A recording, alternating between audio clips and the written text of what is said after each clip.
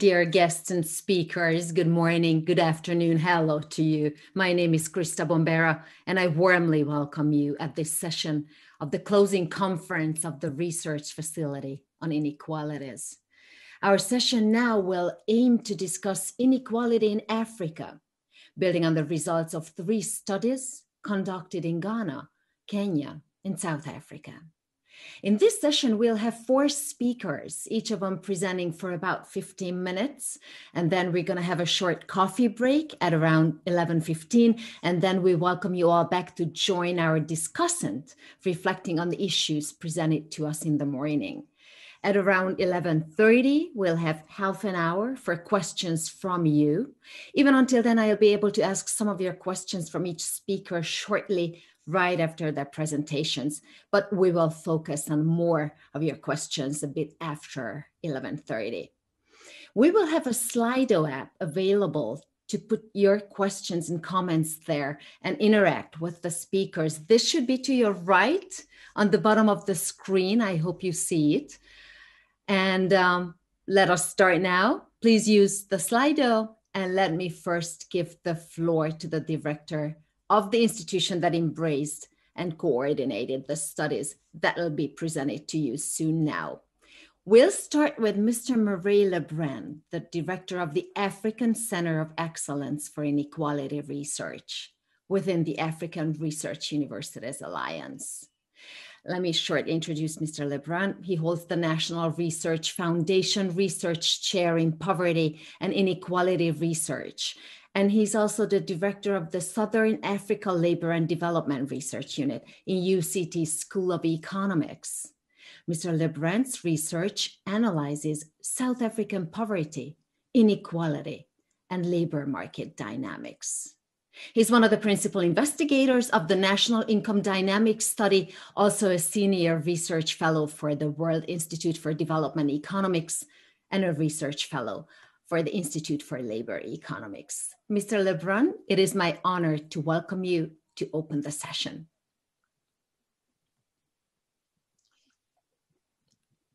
Thank you so much. I'm just waiting for my slides to be loaded. such a pleasure to be with you this morning. Uh, my task is to introduce um, the importance of, of the African context in the global inequality discussion, uh, also for better policy making in the African context. Uh, are my slides showing?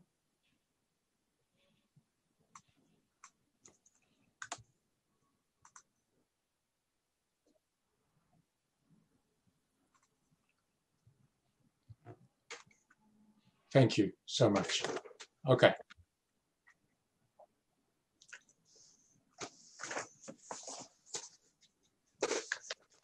Okay, so my, I'm going to approach the discussion in, in three parts. Uh, one, I'm going to locate the, uh, the current uh, situation of Africa in the global inequality discussion.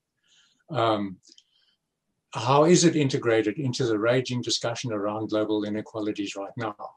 And then I'm going to say, uh, but what can we say about African inequality uh, beyond how it's articulated in the global discussion? And then I'm going to conclude by saying, uh, why is this important? Um, it, it turns out that Africa needs to be more, more purposefully integrated into the global discussion. Um, it has much to contribute to that discussion because of the textures of our inequality and the growing role of Africa in the global drivers of inequality. Uh, there are crucial research gaps to fill. And the, in the rest of the session, my colleagues from the African Center of Excellence for Inequality Research will show you how we've pushed on with that work.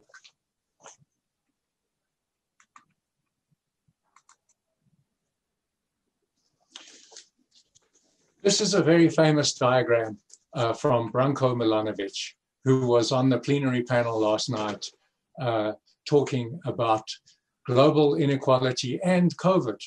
And uh, he, he made the point, and the whole panel made the point, that particular inten- attention to Africa is even more important now in the current environment than before.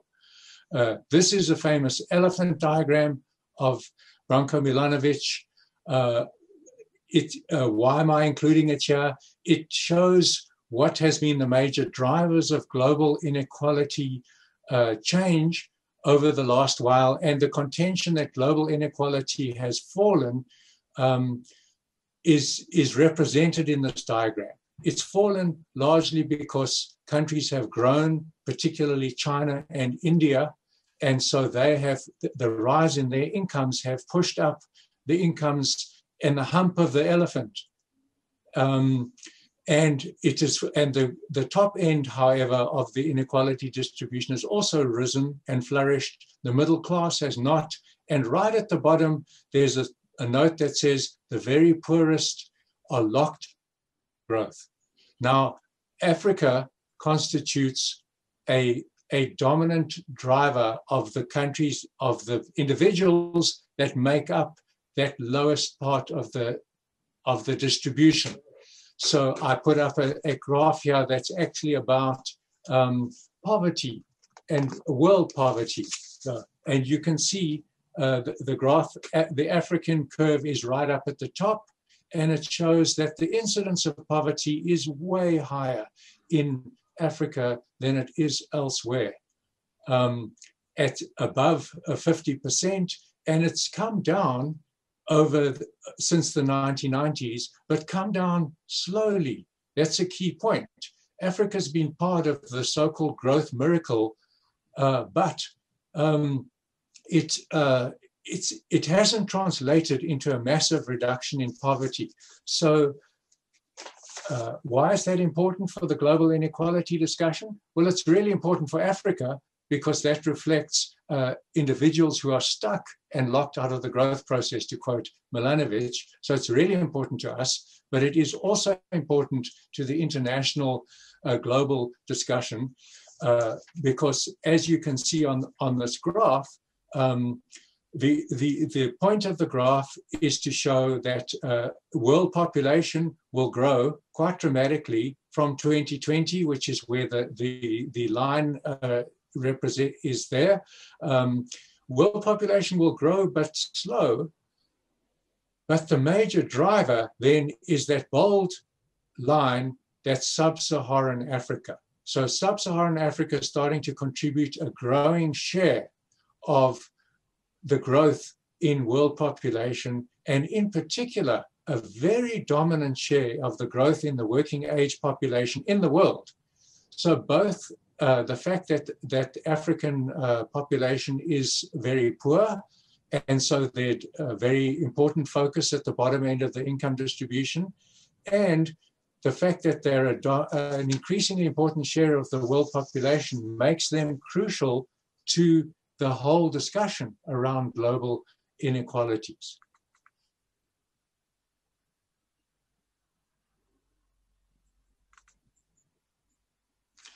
In addition, here is a, a, graph that reflects inequality trends by region of the world. So by South Asia, East Asia, Sub-Saharan Africa, Latin America, and the Caribbean. And you will know that Latin America is famously an unequal continent, if I can put it that way. The countries, the citizens in Latin America uh, have high inequality. Note that if you pull all the African citizens together and you estimate African inequality, it's extremely high. Now, as we will show a bit later, that's not exactly an, a completely accurate representation across the continent, but it makes the additional point that not only uh, is are the drivers of African uh, development going to be key to what happens at the lower ends of the world global income distribution, uh, but that there's very high pockets of inequality in the continent as well. So it suffers, as per the plenary last night, all of the consequences of a high inequality, exclusionary society. There are pockets of Africa that suffer that too. Why is this important? Just to, just to finalize the point. There's a growing literature that shows that inequality as a reflection of the texture of a society translates economic growth into poverty reduction. It translates economic growth into development more generally. And this is the famous uh, triangle of Francois Bourguignon that just represents that. It says it has three legs, it has poverty reduction, it has growth, and it has distributional change. Now, understanding inequality and understanding how it works in any context is key to getting any development benefits from economic growth.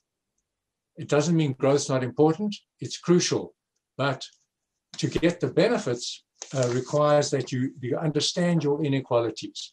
Okay, so what can we say about African inequality? Uh, there's been a flurry of important research. We're not the first people to realize the importance of African inequality. Uh, the, the picture just shows two major, two of the many major reports that have been produced recently on African inequalities. One is by the World Bank on the left, and the other one is by the World Inequality um, uh, Lab at the Paris School of Economics on the right, produced only in 2019, actually.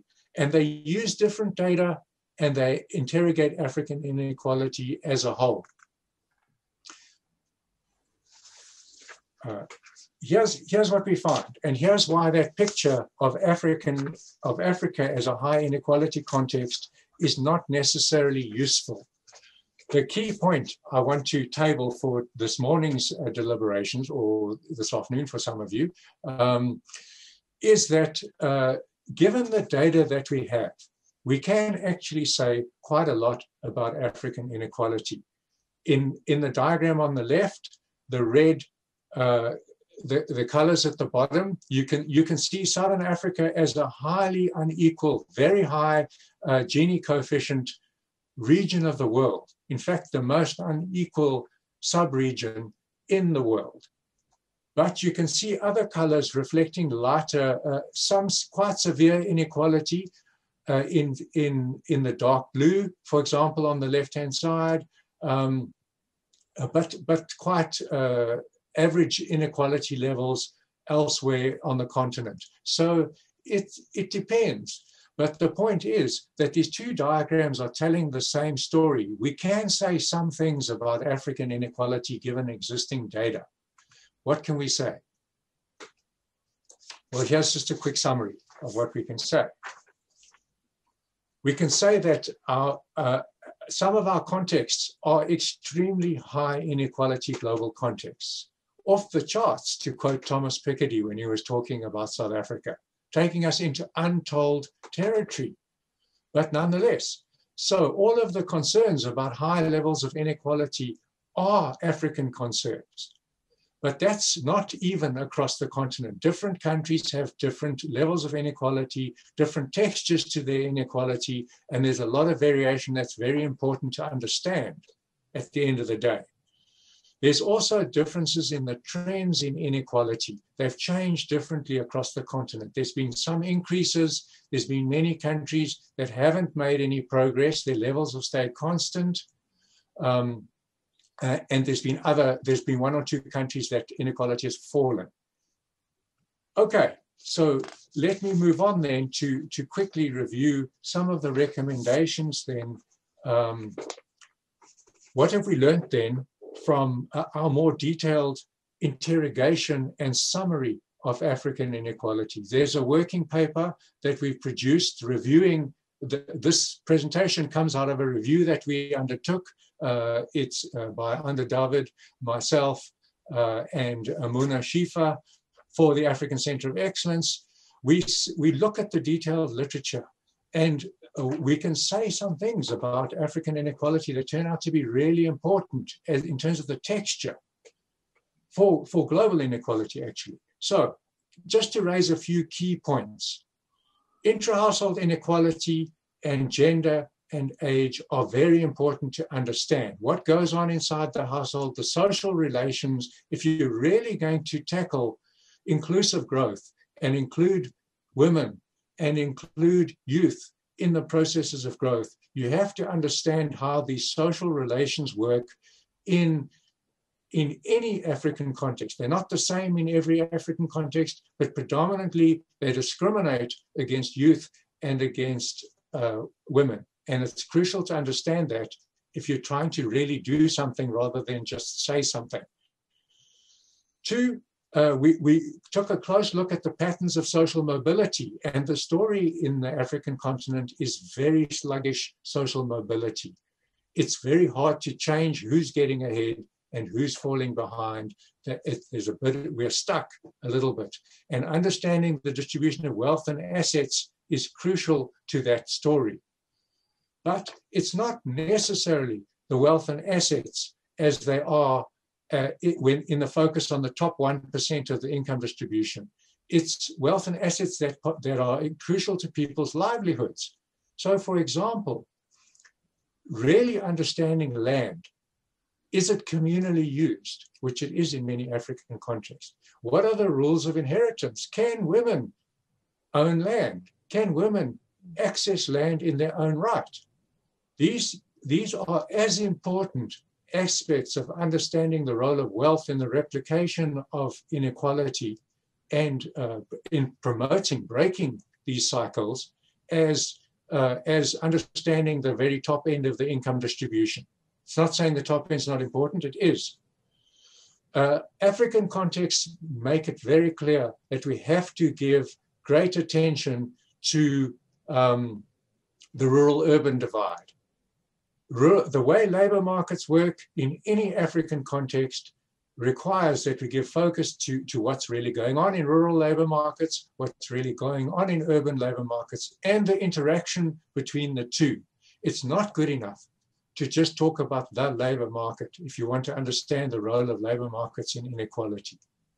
And so the linkages between them are very important. So these are very key uh, contributions to understanding African inequality but they are also very, very important contributions to the global discussion because it's not just African context in which these factors are important, it's developing country contexts. And so bringing Africa into the global discussion will also strengthen the, the prioritization of developing country issues in the global inequality discussion. So just concluding, substantively, this is not just about measurement. This is about uh, intervening to break the cycles of inequality, to promote inclusive growth, to make growth more poverty alleviating. That's why we have such a focus on inequality. It's completely in line with the SDG processes. There are important uh, data and knowledge gaps, and we'll hear more about those in the ASA presentation. But ASA has started very important country specific work. And that's where it comes home. That's where policy is made. And, and that's what we need to understand. So that by way of context then to the remaining sessions. Thank you.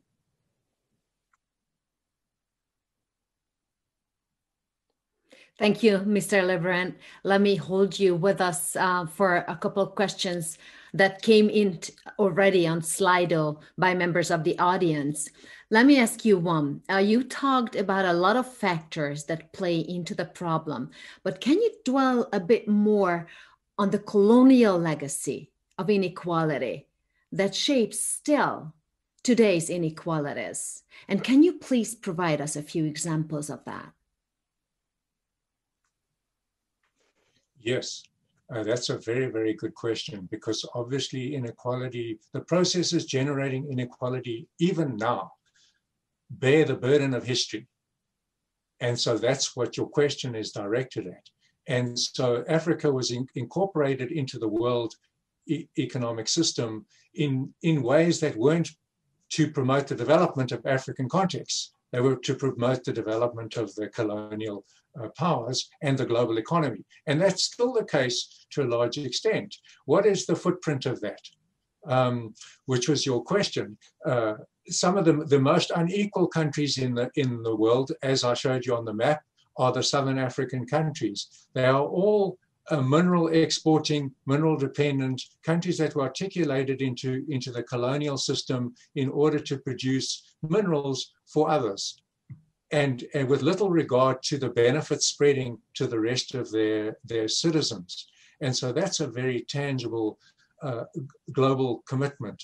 Um, uh, and, and the world economic system has not just evolved innocently, it still bears those burdens, right? Uh, in, in the World Trade Organization negotiations, it's very, very hard to get a, a, an African voice in there that says, please, can you focus on our distorted legacy that we're trying to, to rectify?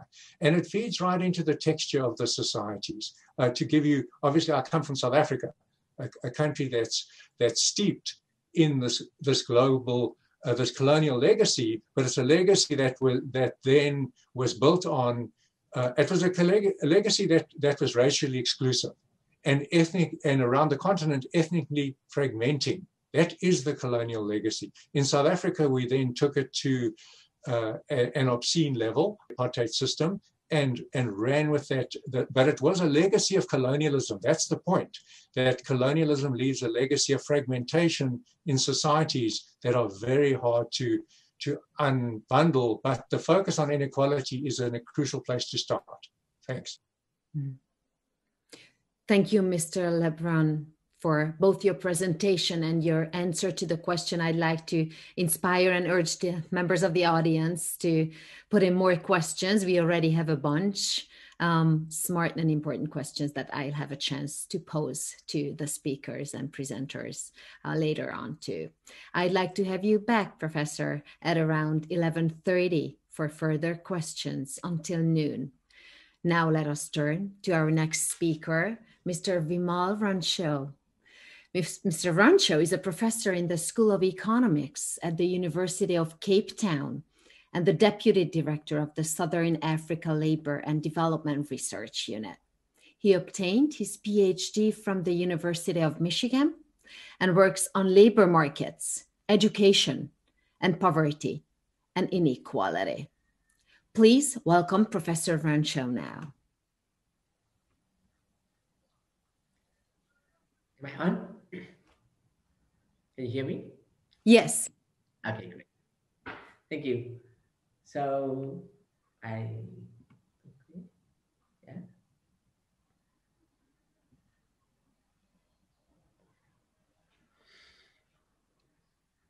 Sorry, just give me one second, yeah. Yeah, I just didn't want to, give me one second. Okay, I got it. Um, okay, thank you so much. And as we've been introduced, I'm just going to jump right in.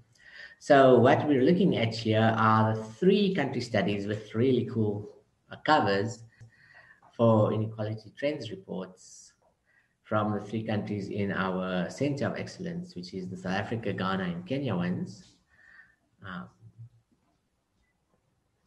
and that was from Murray's. okay, right, so here's my slides. Thank you. And I'm going to talk about the work that the South African team or the South African node in the ACEIR has been doing over the past few years. So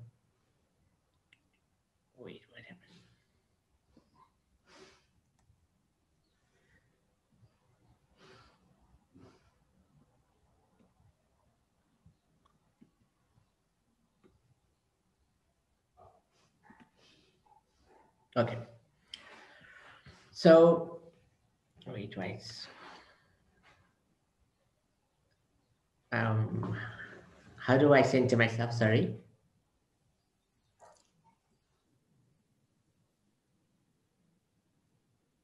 Yeah. Okay. Great.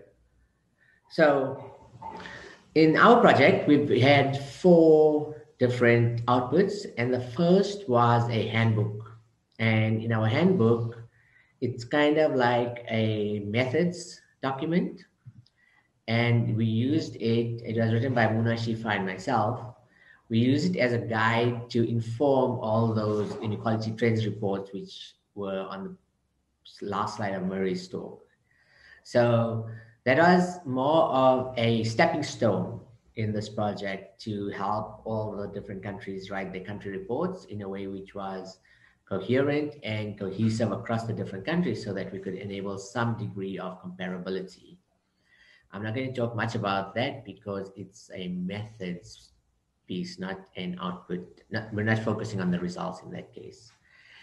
And then the second thing that we did was an inequality trends report, which was a joint project between us and AFD and StatsSA, where StatsSA is our national statistical organization. Then the next two, the last two deliverables were two research papers that we wrote. One was on estimating the lifetime earnings inequality in South Africa, and I'll talk about it in a minute. That was between Rocco Zizzamia and myself. And the other paper is by Muna Shifa Anda David and Murray Leibbrandt. And they were looking at code vulnerabilities and in particular the spatial distribution of vulnerabilities in South Africa. So some background and context, as Murray's already said, South Africa is widely acknowledged as one of the most unequal societies in the world. And it's not just in terms of income, it's in terms of, it's a multidimensional phenomenon, meaning that you can look at several different measures of socioeconomic development or welfare, including education, including income, including access to services, including access to clean water, to sanitation, to electricity. And you'll just keep finding that in several different ways, South Africa is extremely unequal, and these inequalities compound each other. So the people who struggle to access clean water also struggle to access good schools and electricity, etc. And so the once you take a multidimensional view, it becomes a lot more of a social policy issue and an imperative, in fact. So we have, in terms of history, as Murray's already said, we have a long history of dispossession and discrimination by race. And we can conceptually think of the colonization, which was followed by apartheid, as very strong inequality enhancing policies. So these were policies which aimed to entrench, enhance, and cement the inequality of the society.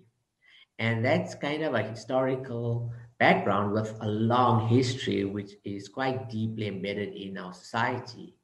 So it helps to keep that in mind when we think about contemporary studies of inequality in South Africa, because several of the social dynamics and institutions that matter for inequality today have their roots very, very long ago.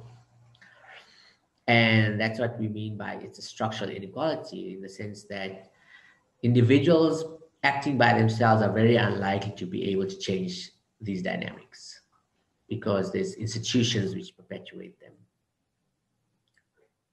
Okay.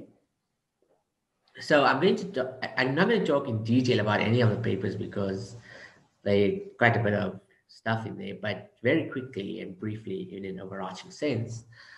Um, from the inequality trends report, we find that there's very high levels of inequality in multiple dimensions. And the largest contributor to income inequality is arising from the labor market.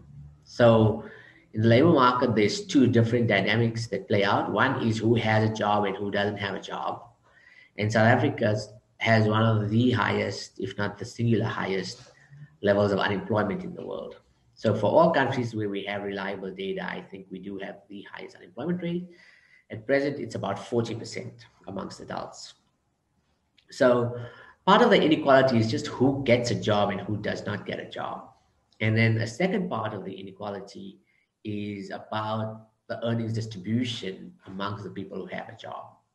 So, for example, the people who earn in the bottom half earn much, much, much lower wages than the people in the top 10%. Even if you did this, I mean, this is true in every country, but it's much more, that magnitude is much bigger in the South African context. And to further understand this, a large an important aspect of these inequalities in the labor market can be correlated with race and gender. So the graph on your right hand side is one of the unemployment rate by race. And sorry, the legend got cropped out, but the highest line is for Black African South Africans. And the second highest line, the yellow orange one, is for colored South Africans and then much lower, the one at about 10%, is for Indian or Asian South Africans.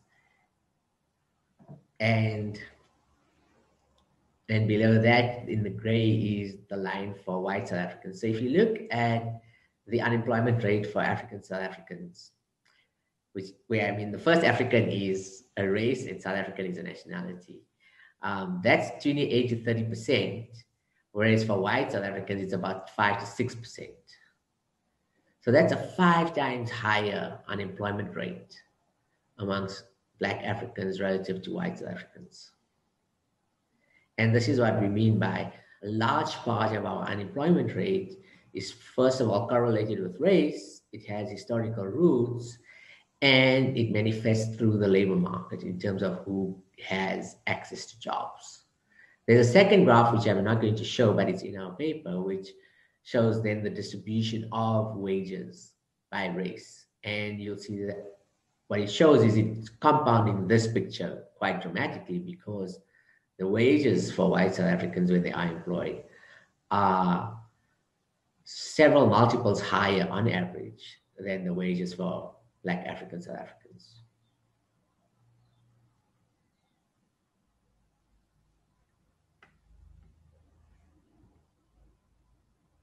Okay. Okay, the next paper that we look at is the one by Muna Shifa and Anda David and Murray Leibbrandt. And they used the 2016 community survey, which is a fairly large household survey um, run by Statistics South Africa. And they created a, an index for vulnerability to COVID-19. Right, so those six questions are the questions that we used, and they were coded based on a priori assumptions about how the disease would spread. So, for example, people who have to share water sources, they don't have taps inside their own home, would be more vulnerable to exposure and people who have to share toilet facilities, again, it's a similar type of thing. Large households would be more at risk for COVID.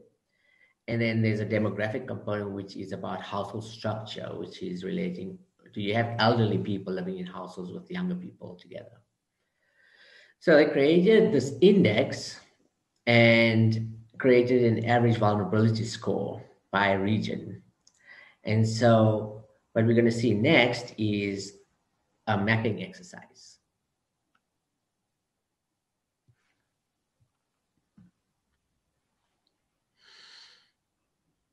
Okay, so this is kind of, I think it's cool. Um, at least it looks cool. The first graph on your left-hand side is at the state level or province level. We call them provinces. Um, where we have nine provinces in the country. And so the color coding going from light yellow up to red shows the degree of vulnerability by province. And what you'll see is that the two richest provinces are the one in the center and the one at the bottom left. That's Gauteng province, which includes Johannesburg and Pretoria, and is almost entirely urbanized. And the bottom left is the Western Cape, which includes the city of Cape Town, and it's one of the other wealthier provinces in the country. Whereas the poorest province, or one of the poorest, is the Eastern Cape, which is next to the Western Cape, and in the center it's the red, and has a much, much higher degree of vulnerability to COVID infection. Now, perhaps more informative is the second graph, which is the same logical structure of the graph, except that the units of analyses are much smaller. They're at the municipality level, and there's about 250 municipalities in the country, slightly more, maybe 255, something like that. Um, and here what you see is that there's quite substantial spatial variation in vulnerability. So it's not like the whole of the Eastern Cape is vulnerable. It's not like the whole of KwaZulu-Natal, which is the province above the Eastern Cape is highly vulnerable. What we know and what is harder for someone who hasn't been working on South Africa for a while to see is that these areas correlate strongly. They're almost a perfect overlay with what the old apartheid government set up as African homelands. Right? So the the place just north of okay, there's the Eastern Cape, which includes the Transkei and the Ciskei historically, And then the northern parts of KwaZulu-Natal are the other large red groups there. And so these were areas which are set up almost intentionally to be relatively poor labor reserves where people would live. And then when they were in their prime, they would move to the cities or the mines or the farms to work, and then they would go back and retire there. And so that overlap of lack of infrastructure combined with high levels of poverty kind of just at this moment in time now come up again and reinforce inequalities in terms of risks to um, a health crisis.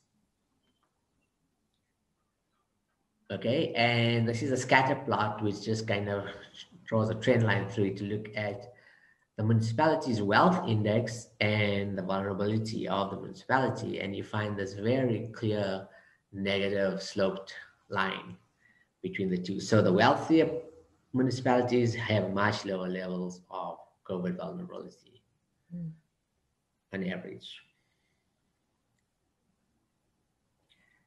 Okay, the last paper that I'm going to speak about is the one by Rocco Zizzamia and myself. And this was, in some to some extent, an exploratory paper where we wanted to think about inequality, but over the course of a life cycle. Now, this is conceptually quite different to anything we've done in this country before, where most of our studies historically have been what is the inequality at a moment in time, right?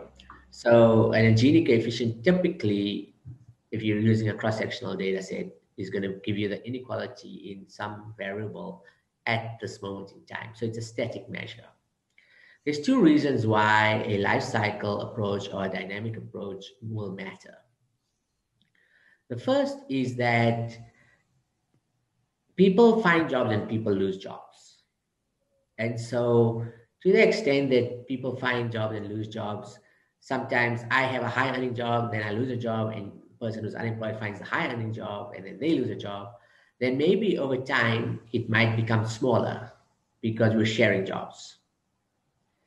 But what is empirically more likely, and we know from previous studies, is that the people who find and lose jobs fast tend to be low wage earners. High wage earners have much higher degrees of employment stability. And so that dynamic may be inequality enhancing even over time. The second issue is that to some extent, inequality at the moment in time reflects these differences young people enter, they have a hard time entering, and we know this. And then they find a job at some point, and then their wages go up on average as they become adults and as they acquire experience and as they enter management positions. And then later on, as people retire, their income tends to drop a bit, right? And then at retirement, it could actually drop quite a bit. So there's a life cycle dynamic which is a different aspect to inequality. These are all different. They all account, for inequality, but they're different. And so what we did here is we used longitudinal data from the National Income Dynamics Study, but the, this is only nine years long. It's got five waves. And so we wanted to think of conceptually a life cycle. How much of the inequality is because of age differences and how much of the inequality, if we could imagine a person's life cycle earnings, would still be manifest. And so what we did was we matched people from different cohorts based on their demographic characteristics to create a synthetic panel. So here's the kind of endpoint of the exercise. If we look, if we look in the first three rows in this table, then we're excluding the unemployed people, right? So the Gini coefficient in the NIDS cross sections is 0.53 over the period 2008 to 2017. If we just use two waves of the NIDS panel, so we're getting to a slightly longer dynamic measure, then and we take the average income, it goes up to 0.57, 0.59. Now what's happening there, it's going up because of that issue which I raised, the possibility, which is that the low income earners tend to have greater job instability. So, for example, think of one person who earns 100 euros one person who earns 10 euros and one person who's unemployed. And then a year later, the two people, the zero and the 10, swap with each other. And the 100 person again earns another 100. So those three people over two years, their incomes are 210, 10. And because the top person has the job stability, they're pulling away from the group. And that's why the inequality is going up in that horizon. Eventually, though, when you take a whole life cycle, it starts to go down because at least some of the young people will grow up and earn the high wages. And so it drops to 0.42. So it's much lower in a kind of life cycle sense. But by international standards, this, is still really, really high, um, 0.42, especially if you think of a life cycle inequality measure. The other ones, the 90-10 ratio or the 90-50 ratio, they all go up again from cross section of 12, then it goes to 17, 23, 27, 30. And again, in, to some extent, that's just again reflecting that um, the churn, the churning is happening in the bottom half of the distribution. That's the kind of key takeaway, which means that the high earners who have the stability are just pulling away there. It changes a little bit when we look at the zero earnings people because now you have to think of people who are unemployed as part of the distribution. And so in the zero earnings group, the inequality goes up quite dramatically if you compare the 0.8 at the bottom there to the 0.53. Because there's a whole lot of zero earners, and that large number, large mass point on the zero level is because of our high unemployment rate. Right? So we gave a zero earnings to everyone who's unemployed. And what we do find there is that it does go down very slowly as we get more and more waves because some of the people who are unemployed today have a job in two years' time and then they lose a job and they find another job. And so there's fewer and fewer people who are unemployed over five waves as compared to only one wave. And so that measure does slow down, but quite slowly over the um, the course of the actual panel. And then over the, the synthetic panel it goes to 0.42. That by construction has to be the same in the top row and the bottom row. Okay. Uh, recommendations. Um, I was quite conservative. I said, well, we don't really have any silver bullet um, recommendations. As we said, both Murray and I, the inequality is structural and it's deep rooted and it has a very long history. It has centuries of build up to it. So we don't have easy solutions to it. Um, we do think that having good data is clearly a good idea and having research capacity that can focus on these things is important. Um, and we probably do need to think about policy, which includes politics and political economy, um, and think about the dynamics of inequality. So that's pretty much all that I have to say. Thank you. Thank you very much. Thanks a lot for the presentation. And I would also like to um, thank members of the audience for the smart questions they have been submitting to us through Slido. We are watching them, collecting them, and we'll try to present them. Uh, Mr. Ranchhod, let me ask you for uh, just a short clarification concerning your analysis, your method.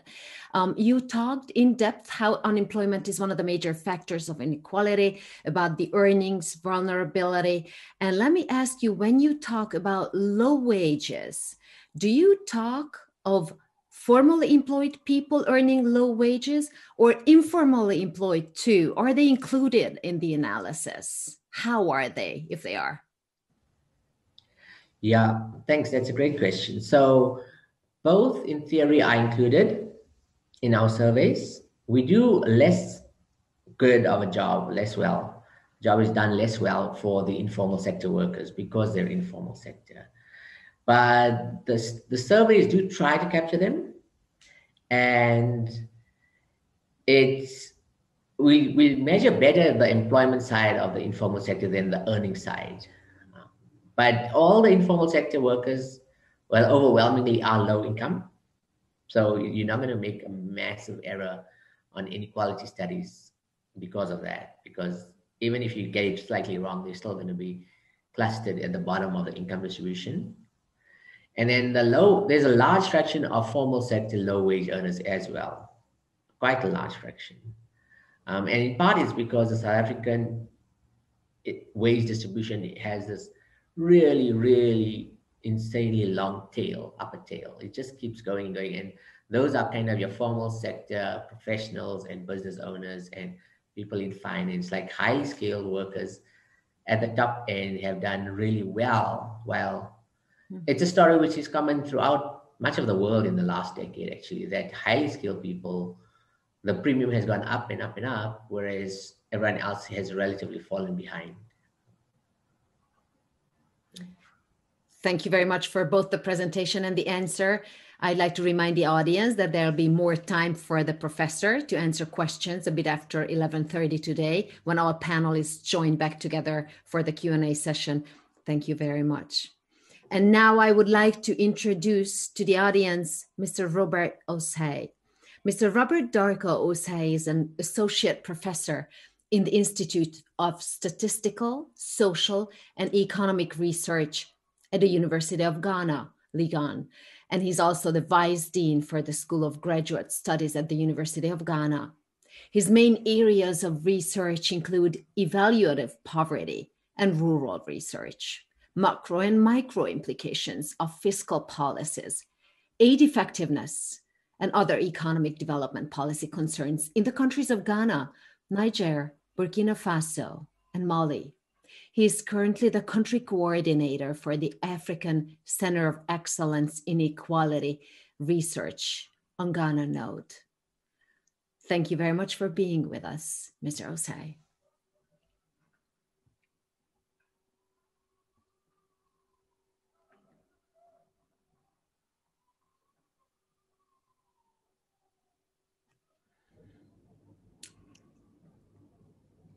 Yes, you are unmuted.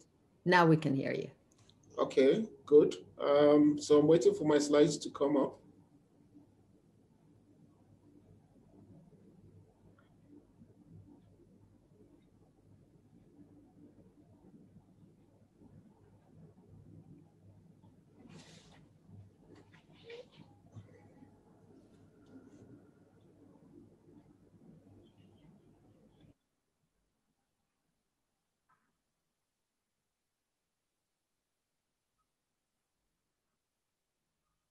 Yes. I wonder if uh, Mr. Osei can hear us. It seems to me that he's a bit frozen, but that does not mean that we are not trying with our team to get back him on the virtual stage. Um, he's been with us fine so far. I saw him in the backstage. So thank you for your patience. Sorry about um, the hiccups. Happens to any conference in the last year that we've been living like this. Okay. Oh, yeah. He's got disconnected. We're going to work on getting him back. Um, but now I would like to move on um, to our next speaker, Mr. Damiano Manda Kulundu. Let me introduce him shortly. He is Associate Professor of the School of Economics at the University of Nairobi. He holds a doctorate degree in economics from Gothenburg University in Sweden. And he had done his master's and undergraduate degree in economics at the University of Nairobi.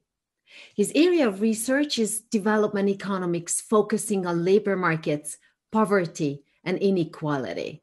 Mr. Manda is a researcher at the African Economic Research Consortium, and he coordinates and carries out research at the African Center of Excellence in Inequality Research Node at the School of Economics at the University of Nairobi. Professor Manda, the floor is yours now. Thanks for being with us. Okay, thank you so much. Um,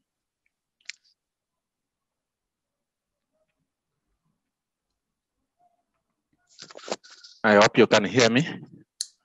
Yes. Okay, thank you so much. So I'm going to present uh,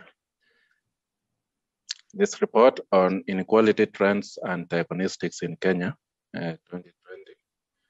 This is uh, a joint report that was done by a team from the University of Nairobi, including Professor Mwabu, John uh, Moses Muriithi, Anton Wambugu, and uh, Ruben Mutegi, and also a team from the Kenya National Bureau of Statistics, including Paul uh, Samoei and Samuel Kipruto.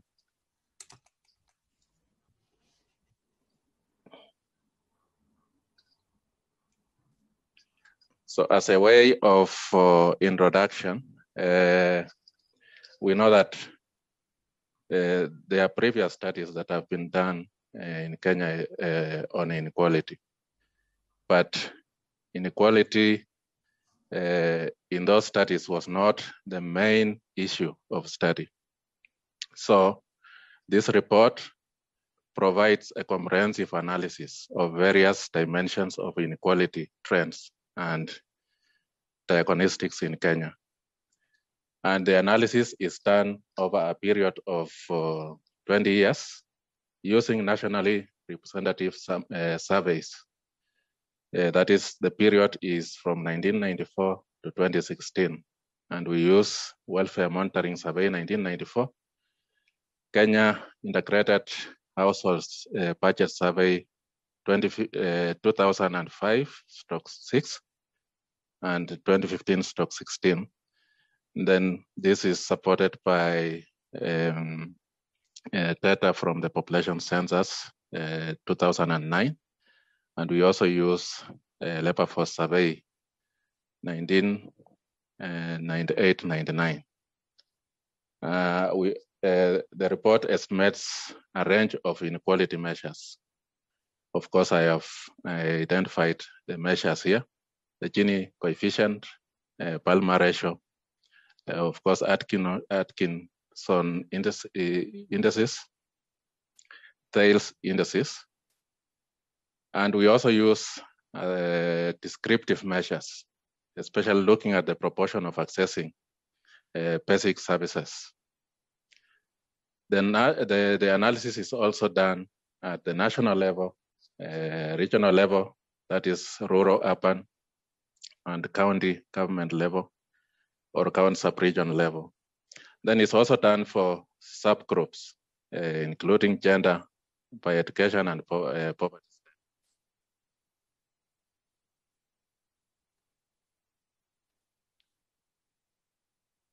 So the report analyzes monetary and non-monetary dimensions of inequality. Uh, so we we look at per capita expenditure inequality. Uh, we also look at asset inequality based on uh, asset index that is based on household possessions.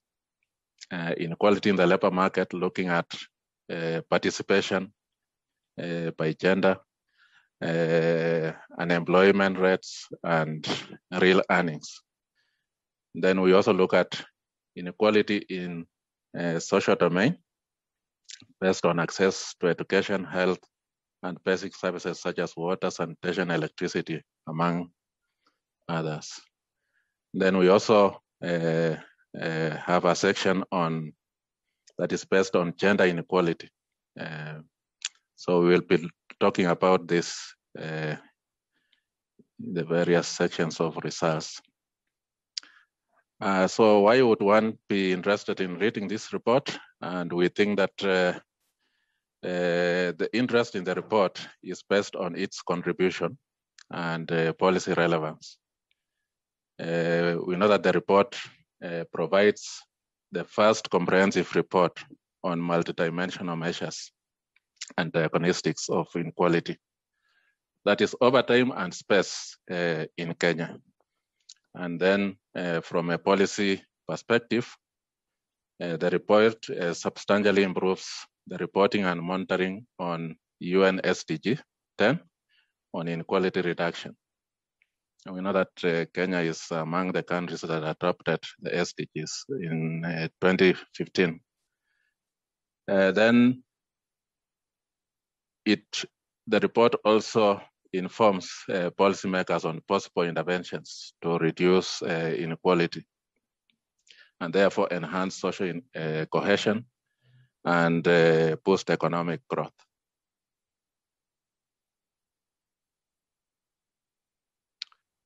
Uh, in terms of research, we first of look uh, we first of, of, all look at uh, averages, that is the mean and median, that is the real mean and median of annual expenditure. And here, our research show that uh, urban dwellers, those who stay in urban areas, uh, receive high, had higher real mean annual expenditure than those in the rural areas. Also, those staying in Nairobi, which is the largest city in Kenya, had higher annual mean and median expenditure compared to the rest. Uh, and this was at least five times more than uh, many other counties. Um, but in 2015, 2016, uh, there was a redistribution of expenditure share uh, from the top 10 richest to the lowest percentiles. And this will show itself, especially when we look at uh, when looking at the measures for inequality.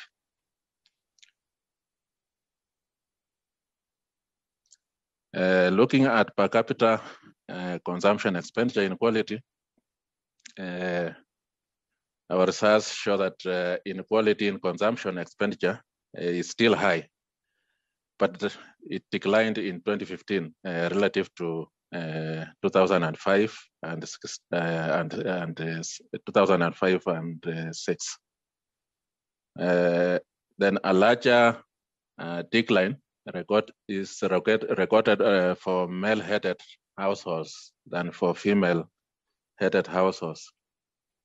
Also, this larger decline is recorded for uh, those uh, living in the urban area than those in the rural areas. At county level, um, there is a wide variation. There is a wide variation in inequality across the counties, uh, ranging from 0.27 to 0.559. Um, the inequality also declined in most of the counties but it rose in a few others. Uh, for example, in Nairobi, uh, had the highest decline in inequality, and one of the counties, uh, Turkana, experienced an increase in uh, uh, inequality, as shown by its Gini coefficient. Uh, also, there is high inequality in urban areas and among the non-poor and also among households whose heads had higher education.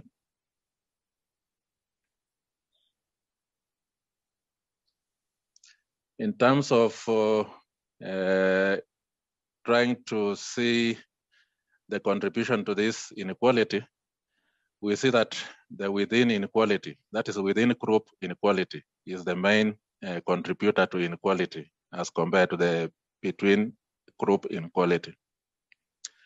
And among the within inequality groups, uh, individuals in male-headed households contributed more to the within uh, inequality. Also, individuals with primary and secondary education contributed more to within inequality. As well, uh, rural dwellers also contributed more to the within uh, inequality.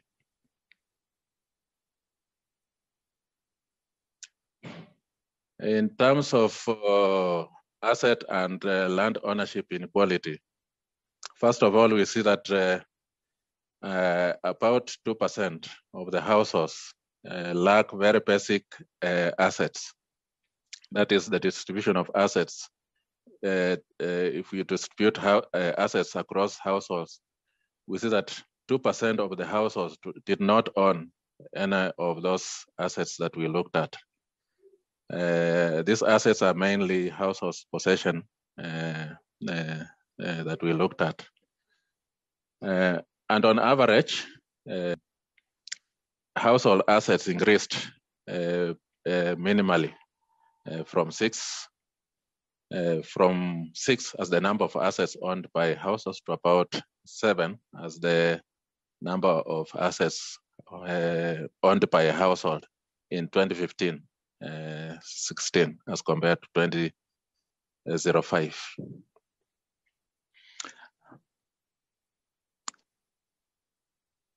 Okay. Then inequality in assets, asset ownership index, uh, and also in land ownership are very high. And we think that uh, uh, this could be some of the sources that uh, contribute to high inequality in Kenya. So inequality in asset and uh, land ownership could be contributing more to um, uh, inequality. In the labor market, we see that female and youth uh, did not have access to decent jobs, and and and, and, and unemployment was high among this group.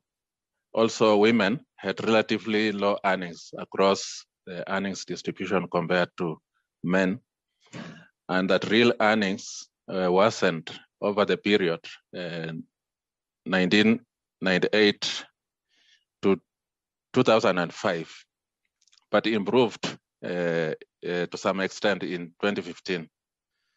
Uh, the inequality in real earnings, uh, which was at 0.49 to 0.9 are higher among those uh, are also higher than those in uh, real per capita consumption. So again, we see that uh, earnings in the labor market could be another source that is leading to higher inequality in Kenya.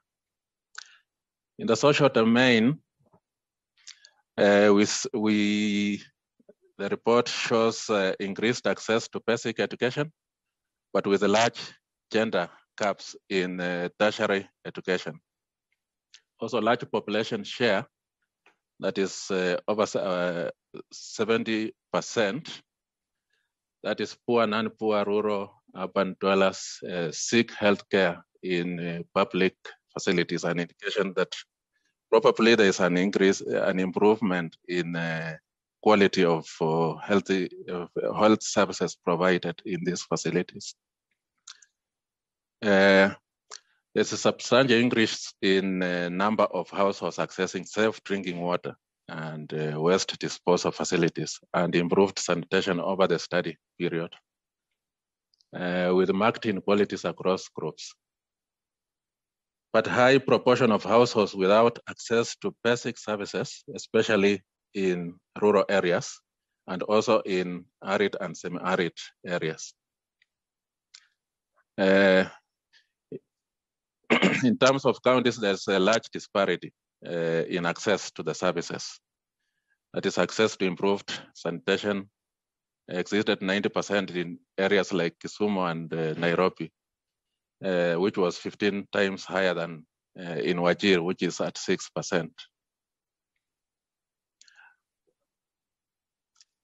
Uh, in terms of gender inequality, uh, as we have seen in the labor market, uh, male participation is higher than uh, for women. Uh, unemployment is higher for women than for men, and men receive higher earnings than women. In education, especially in uh, higher education, there is gender uh, inequality. There is uh, there is gender inequality, especially in college and university. But in the basic education sector, there's, there isn't so much gender disparity. Then male-headed uh, households had higher access to safe drinking water, piped water, and improved sanitation than uh, female-headed households. And also we see that representation of women in various legislative bodies was below 10%, which is uh, uh, which is an indication of male dominance in uh, those areas. Conclusions. Uh, the main conclusions uh, from our study is that multidimensional inequality decreased over the study period, but remains high across regions uh, and social groups, with some regions being severely disadvantaged, especially counties in rural and uh, arid and semi, semi-arid areas. Um, gender inequality gaps narrowed, but remain high in uh, rural populations and in higher education and in civic engage engagements. Um, uh, our recommendations are that uh, reducing inequality in labor market earnings and in asset ownership through fiscal measures could go a long way in reducing the overall inequality and poverty. Um, the reason why we we talk of fiscal measures is that we have a second paper which is uh, which is uh, on fiscal incidence that is already done. It is uploaded on the CQ Institute and also AFD website. Uh, and this this report uh, uh, has indicates that um, uh, this report shows how government can use expenditure and taxes to uh, reduce uh, poverty and uh, inequality in Kenya.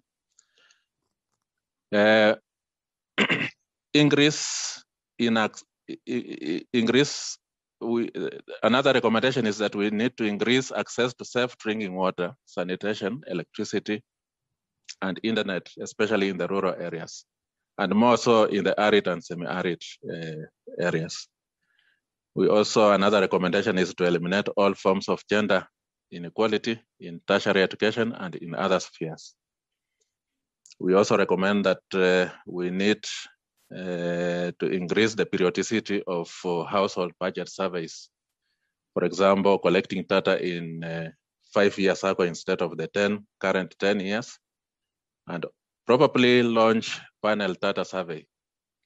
Uh, this would help in uh, monitoring and reporting these uh, uh, measures. Also enhance collection of data on time use, data and uh, data on nature and quality of the services accessed, especially by individuals and uh, the poor. so thank you so much. that is the end of our presentation. Thank you, Mr. Manda. And I already found a very good question for you from a member of the audience. You talked a lot and in depth about gender based inequality. But the question posed to you, addressed to you, is the following How do inequality dynamics affect youth and children differently?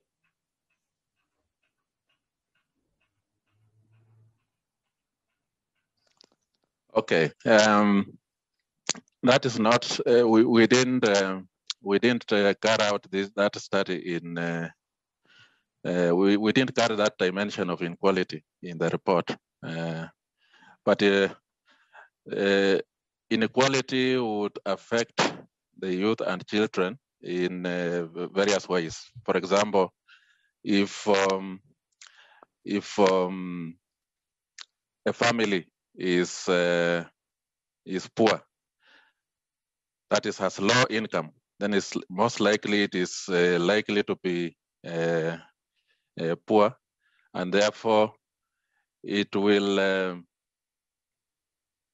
it will face various measures of uh, uh, inequality and uh, poverty, which means even children from those households may not, from households that are low income may not get good education and um, because they may not access good education and uh, health uh, and health uh, services it means that they will end up remaining in that uh, poverty cycle if nothing is done uh, or if the if no intervention is done uh, from the government side lucky enough, uh, government is doing something, especially uh, sending transfer earnings to households that are um, poor and individuals that are uh, especially children that are orphans,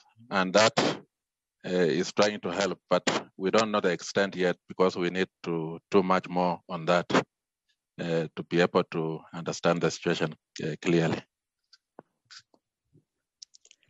Thank you, Mr. Manda, for your input and um, hope to see you soon again for more Q&A. And now I have the great news that Mr. Osei is back with us. So he'll be our fourth speaker of this session. I already introduced him before we lost him. Let me just repeat the fact that he holds several positions at the University of Ghana, and he's currently the country coordinator for the African Center of Excellence in Inequality Research on Ghana Node. Good to have you back. Thanks for being with us. The floor is yours. Thank you very much. Hopefully um, the internet will not um, let me down now. Okay, so I will wait for the slides to be uploaded and then get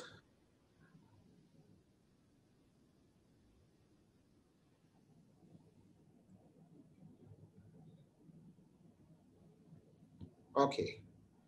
So um, I am going to speak on uh, two research papers that um, we have worked on over the last uh, couple or so years. And it relates to uh, trying to understand the dynamics of inequality um, in Ghana, but also looking at this um, relationship between economic inequality on one hand and then um, the inequality of opportunities on the other hand, and how that um, feeds on themselves to either perpetuate or reduce um, economic inequality for future generations.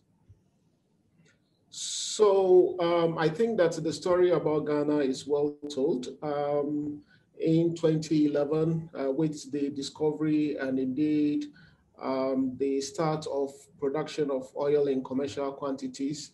Um, the growth in Ghana, which was already quite high in the 2000s, actually shot up quite a bit, um, particularly um, in 2011. Um, and indeed, um, even though we had some bubbles from then, between 2017 and 2019, we've seen this reemergence of the growth uh, in Ghana. And indeed, uh, the African Economic Outlook indicates um, that uh, between 2017 and 2019, Ghana was uh, one of the fastest growing economies in Africa. Um, but unfortunately for Ghana, um, and I think for quite a number of countries in the developing world as well, um, the inequality uh, or the growth hasn't always translated into significant poverty and inequality gains.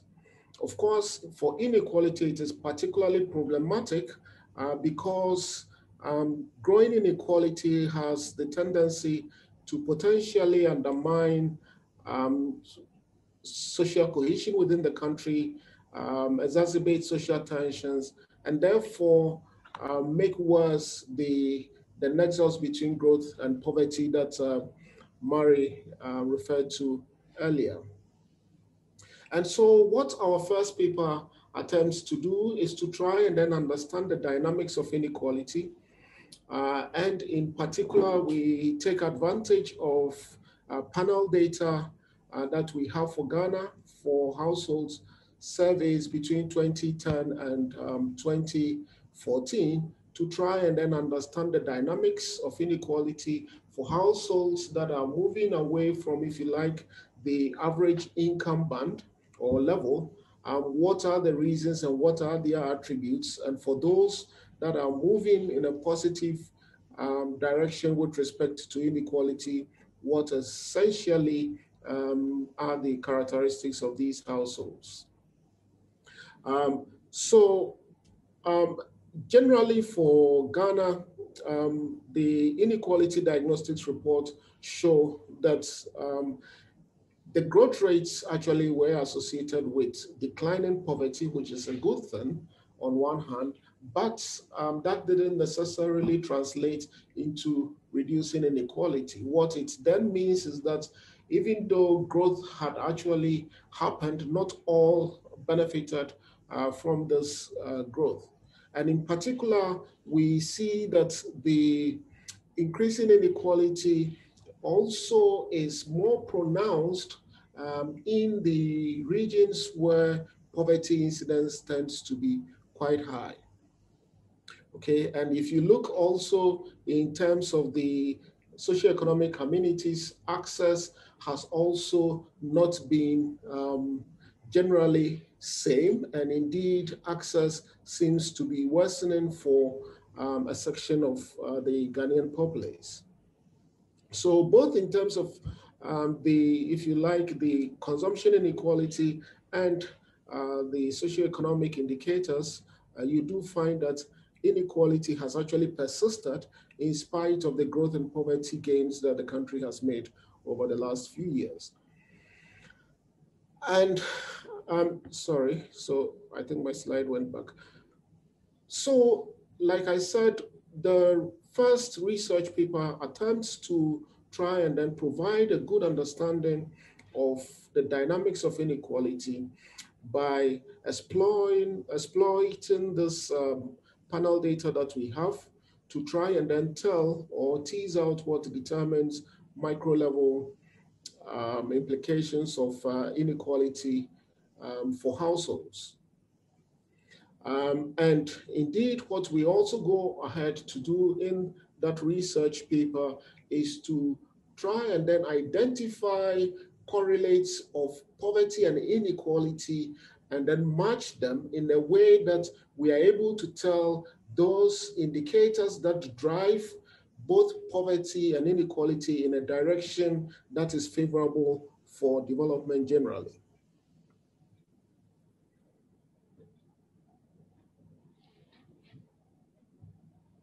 So we, using this um, panel data that we have that exists for us and exploiting um, the deviation of households consumption from some average. And the notion being that once a households or on average if households are moving from that average then typically you would say that these households or inequality is actually increasing.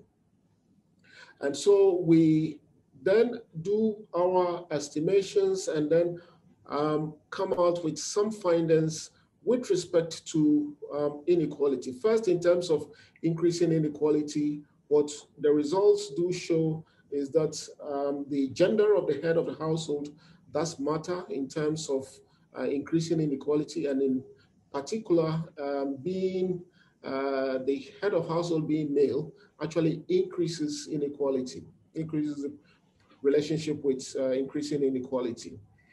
Also, uh, we find that high dependency ratios also tend to increase um, inequality.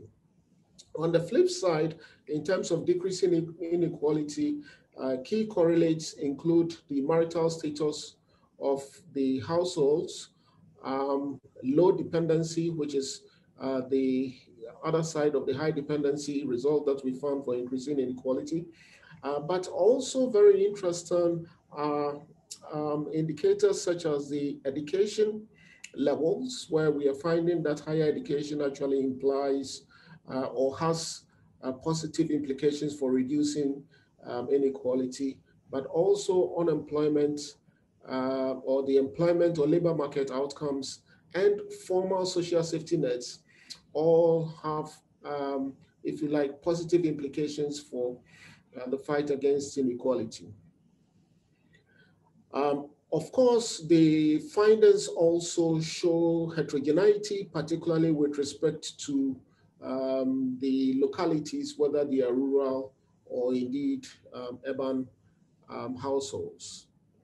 So interestingly, we are finding essentially, I think, uh, uh, and this point needs to be made, that if you take the two um, objectives together, i.e., um, reducing both poverty and inequality, there are certain correlates that um, goes with these. So if you wanted to achieve the twin objective of reducing inequality and at the same time reducing poverty, then your best bet in terms of what the data suggests for Ghana uh, higher education, um, labor market outcomes in the form of uh, employment, and formal social safety nets.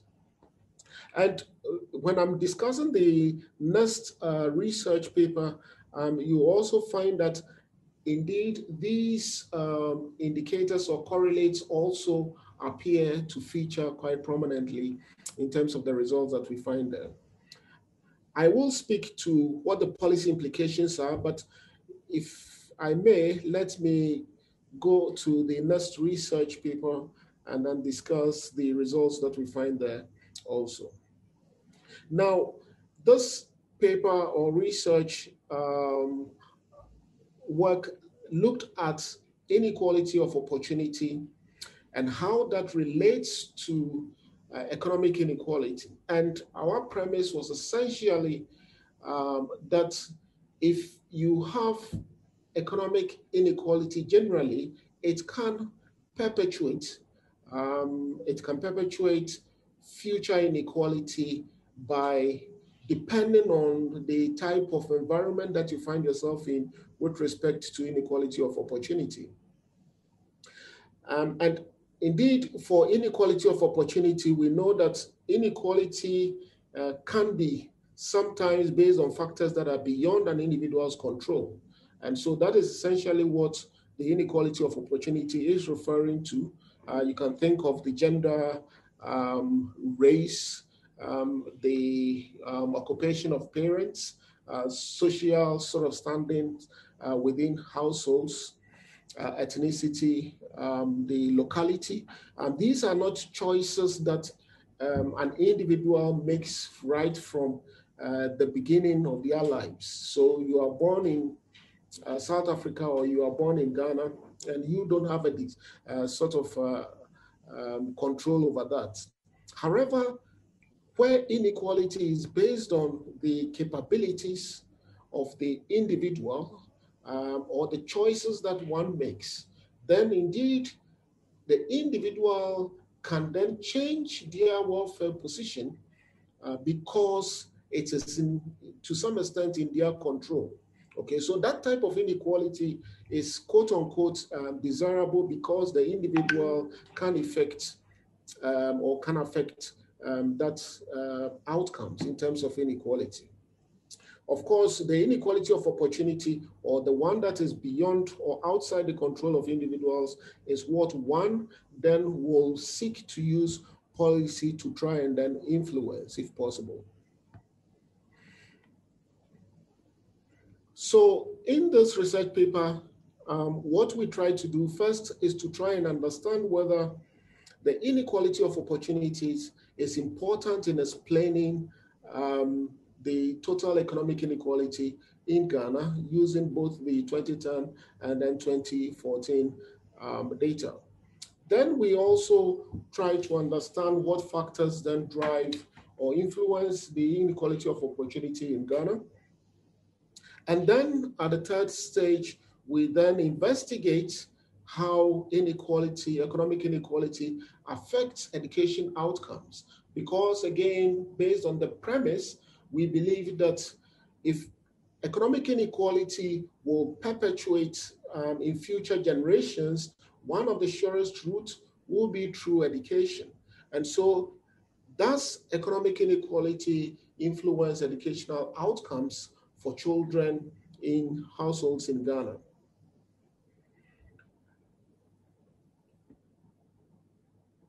Okay, so the main results here um, are as follows. Now we do find that um, the inequality of opportunities um, has contributed significantly to total inequality in Ghana. Um, indeed, between 2010 and 2014, it has almost doubled. And so by 2014, it was around 8% of total um, inequality.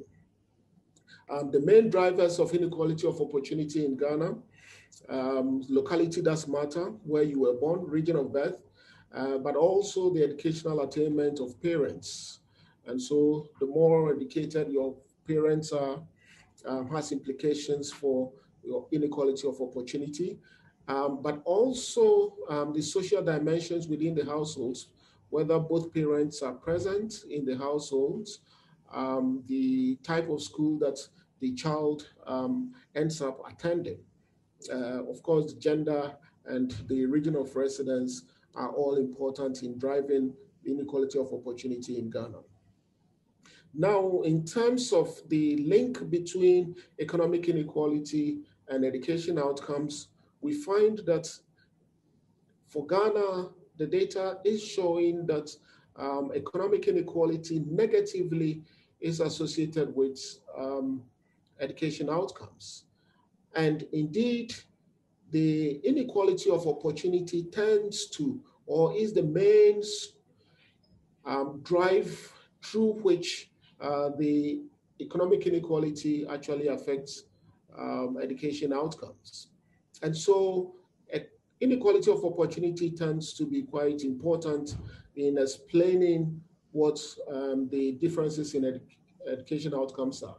Again, if, if, if you remember the premise that I actually started with, um, the idea being that if indeed economic inequality negatively is affecting the educational outcomes of children, then you are not likely to see improvements in um, um, improvements in inequality over time because we know that the educational outcomes do affect uh, labor market outcomes and that uh, like we have seen and heard um, in Vimal's presentation, that has also implications for um, economic inequality. So what do these um, findings of these two research uh, mean in terms of uh, policy? Now, in terms of understanding the dynamics of inequality or what drives um, the inequality in households, we did find that they correlates where we um, are concerned about reducing both poverty and um, inequality. The key correlates are education, employment, and then social safety nets. And so clearly the policy message there is that if you really want to deal with this situation or improve the outcomes, development outcomes with respect to not just poverty, but also inequality, some more attention needs to be paid to education. Of course, some more attention needs to be paid to formal social safety nets. And indeed, um, we need to uh, make employment policies more explicit uh, so as to deal with not just uh, reducing poverty, but also uh, reducing inequality. In terms of the inequality of opportunities and how that relates to economic inequalities, and therefore how that either perpetuates or um, helps reduce uh, future inequality, economic inequality. Again, the uh, policy message is quite similar to that of the dynamic um, inequality uh, paper in the sense that, again, it means that there is the need to improve access to education in all um, the regions so as to improve um, the link between economic inequality and education outcomes. And like I showed, the results do show that actually the link between um, economic inequality and education outcomes is largely through inequalities of opportunities.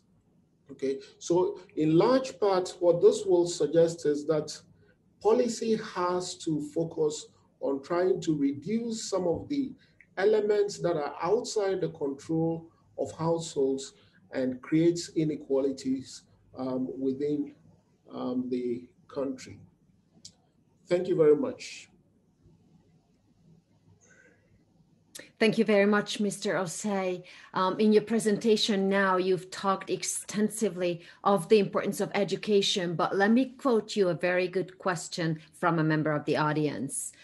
Can you please expand a bit on the policy options, especially with regards to the spatial determinants of inequality, please? So thank you very much. Um, and like, like I, I was pushing and trying to drive home, um, education does matter irrespective of whether you are looking at the research paper one or research paper two.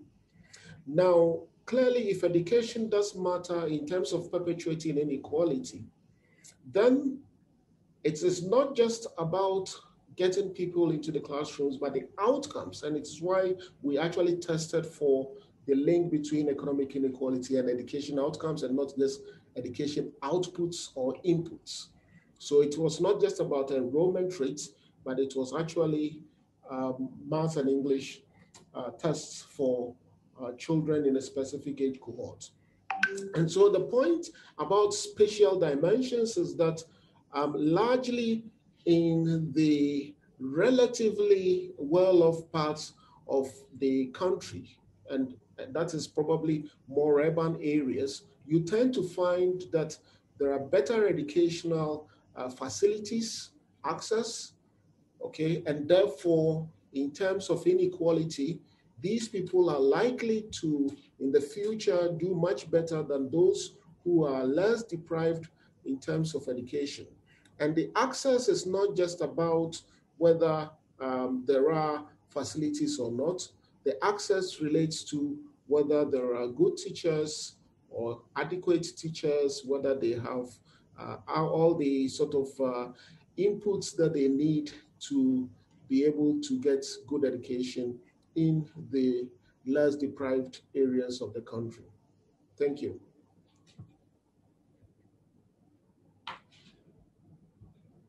Thank you very much, Mr. Osei. And of course, I warmly welcome you back soon for more questions. But let us now have a strictly five minute coffee break, if you don't mind. Please do not sign off so you won't have to sign back in. Just take a break and have some rest. And we are ready to start with our discussant, Mr. Cecile, Mr. Cecile Valadier, in five minutes. See you very soon. Thank you.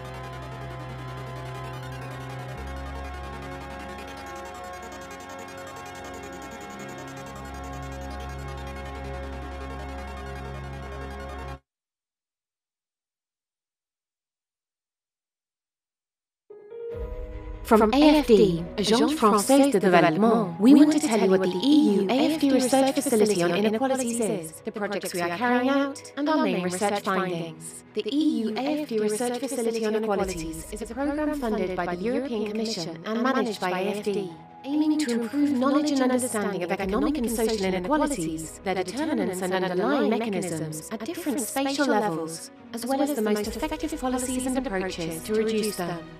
With a budget of 4 million euros for the period 2017 to 2020 and a steering committee comprised of the European Commission, AFD, and AECID, the Spanish cooperation, the programme launched more than 20 research projects in over 20 countries. This facility also aimed to engage in a joint reflection with Member States on ways to strengthen the contribution of EU development cooperation to the fight against inequalities in the framework of the implementation of Agenda 2030 and to contribute to EU development policy whose overarching objective is the eradication of poverty. The objectives of this facility are achieved through a three-pronged strategy. 1. Conducting research on the determinants and dynamics of economic and social inequalities in developing countries. 2. Targeting our work in partner countries that have expressed an interest or need. 3 support partner countries and development institutions to integrate research findings into national policies and development cooperation strategies.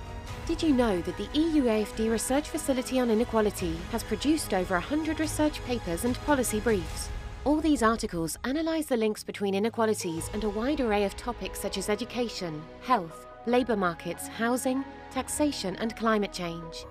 These research publications, the support to the structuring and the strengthening of research networks on the topic of inequalities, further supports policymakers and development in mainstreaming and tackling the reduction of inequalities in their policies and strategies.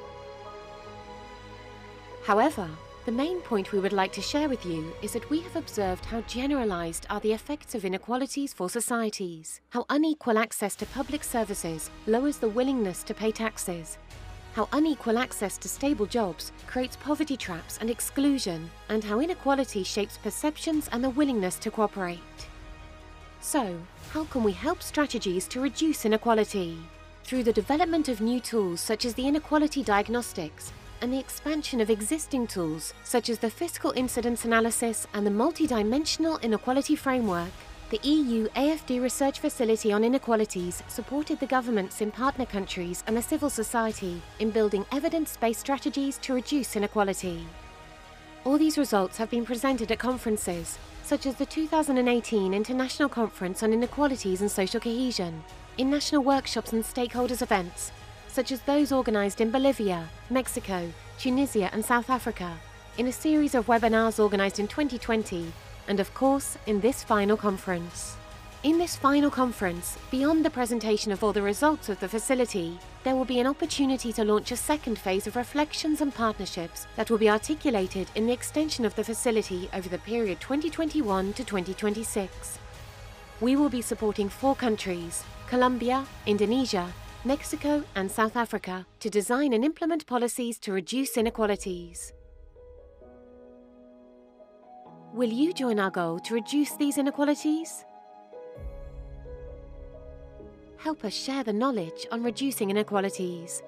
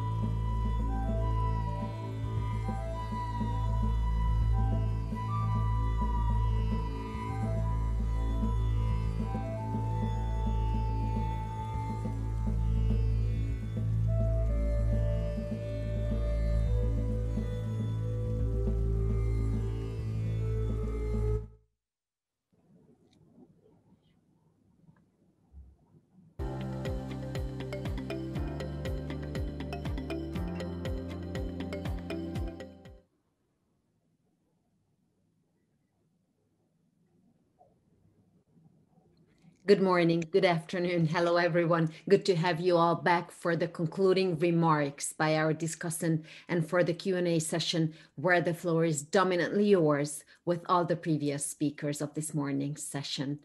I would like to welcome Ms. Cecile Valadier for her concluding remarks, or rather, a short discussion in a minute, but let me introduce her too shortly to you. Ms. Valadier is the Deputy Director of the Economic Assessment and Public Policy Department at the Agence Française de Développement.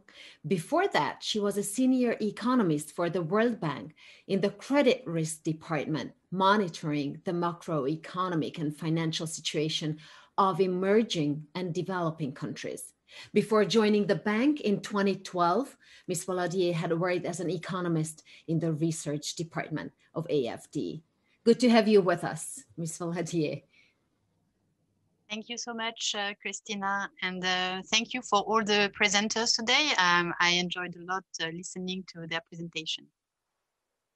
Thank you for this chance to have um, a discussion with you about your view on what we've just listened to in the previous hours. But let me first ask you a bit about AFD. Would you please highlight to us what a development bank such as AFD does exactly to support knowledge on inequalities in Africa? Thank you for the question. So first, maybe let me start with um, AFD's overall strategy. And it is quite clear actually on Africa. We need to do as much as possible for Africa, given our financial capacities and within the mandate that is given to us by uh, the French government. And Africa very much lies at the heart of our activity. Uh, for instance, more of more than 500 um, staff work there. Uh, we committed 6.5 billion euros on the continent in 2019, which is closely half to what we have been financing for development purposes. And beyond this, this financial support, our research um, and no innovation and knowledge strategy also aims at making sure that 90% of all our research projects have at least one partner in the global south. And this ambition echoes um, Murray's earlier remarks, but it goes beyond, beyond the research on inequalities. And at AFD, we have the privilege um, to act as a bridge between academia and the policy making process. But we also have a role in, to play in building the research capacity in our partner countries.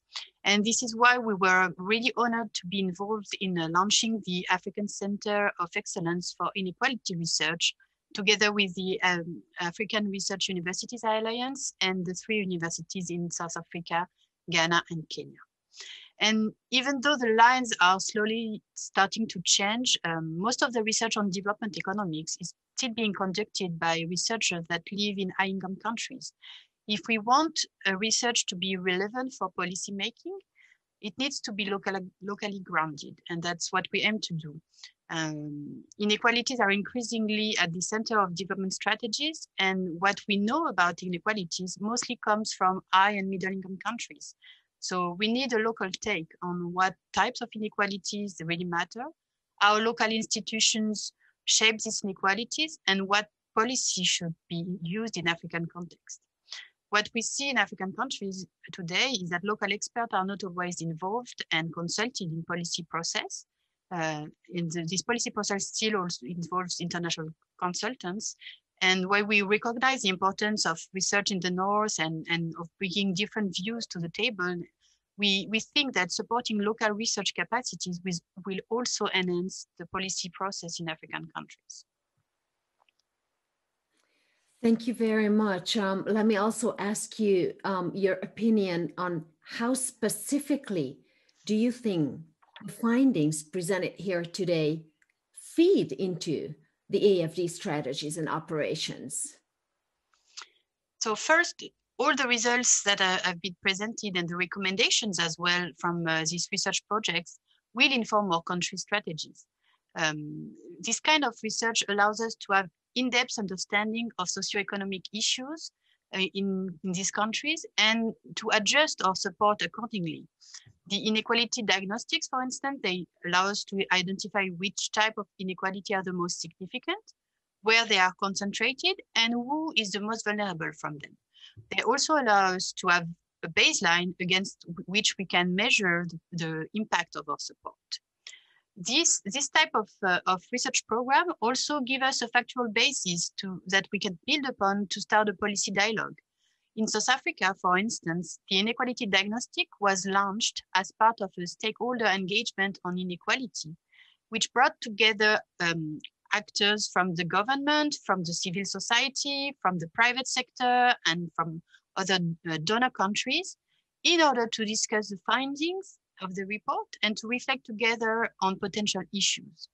And today, we are also continuing the conversation with some of these participants on how we can take effective actions and support policies in order to reduce inequalities.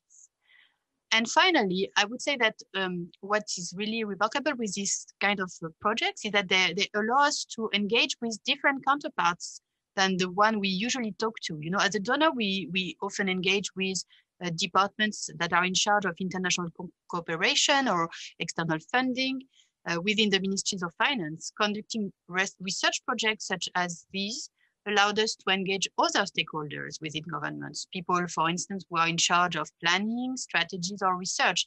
And it broadens the, the different takes we can, we can take into account in our operations. How do you see to be the next steps in terms of research on inequalities in Africa? So this is broad, but um, I would say maybe first because I'm a macroeconomist that um, at the macro level we we still do not know enough about how structural changes like the one we are currently witnessing uh, will impact inequalities in Africa. For instance, um, we are starting to see evidence on how digitalization uh, impacts labor markets and wages but we we still don't know what this impact would look like in a country where 90% of the labor market is informal, like it is the case in Mali, for instance.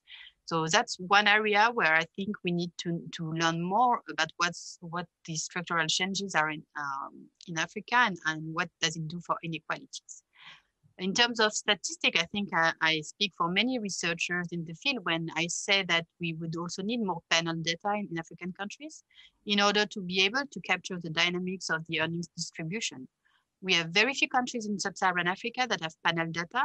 And as we saw today with the presentation of the work in Ghana or South Africa, these are really valuable in uh, understanding inequality.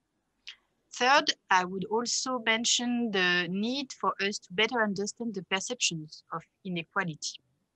Uh, we know that perceived inequality is what really matters for social cohesion and it goes as far as uh, matter for, for instance, for tax compliance. But little of this evidence that we have is coming from African countries. And this is really important for to understand both the for the poor, poorest or the richest um, in the in, and, and we think that we know quite a lot about subjective uh, poverty, for instance, but we cannot say the same for the upper part of the income distribution. Um, so the question we should ask ourselves are, who consider themselves uh, rich? Um, where like do, how do they see social mobility? Are, are they are the richest seeing themselves as are as um, middle class or, or, or, or more than that? And these are important questions because economic inequality comes with political inequality. We know that it is often the wealthiest who will weigh most on the policy decisions. And so that's that's one uh, part of uh, the research agenda that i think would be very promising in, in a way and this brings me to maybe the last point I wanted to make on, on where we need more research on, which is the political economy barriers to um, inequality reduction and the policy implementation. The, the, I think the last panel of the conference will shed some light on this issue, but we need to better understand why policies, which are generally well designed to reduce uh, inequalities, might not achieve their goal. And actually, I'd be interested to hear uh, um, from Murray on this topic if he has some insights to offer uh, with the case of South Africa in particular in mind. Thank you very much. Thank you very much. And let me uh, take advantage of um, what you just said and let's engage Mr. Murray Leibbrandt in a conversation with you. Let's change the format a bit and let us have both of you on the screen now for um, a short conversation.